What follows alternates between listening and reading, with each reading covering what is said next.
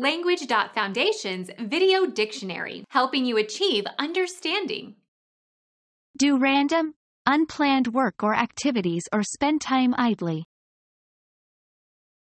Mess around, monkey, monkey around, muck about, potter. Become our student and get access to effective and free educational materials.